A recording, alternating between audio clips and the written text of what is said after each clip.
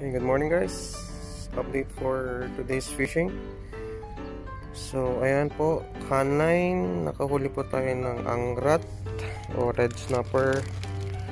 Mga siguro kulang-kulang uh, dalawang kilo. Tapos tatlong crabs and isang bako po. So, ayan po guys. Um, update ko ng later if may ma-receive pa ako mamaya. So madilim pa.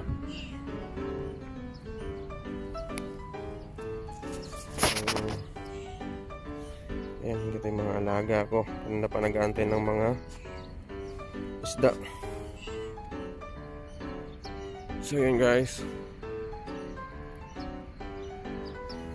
sana makahuli pa ng marami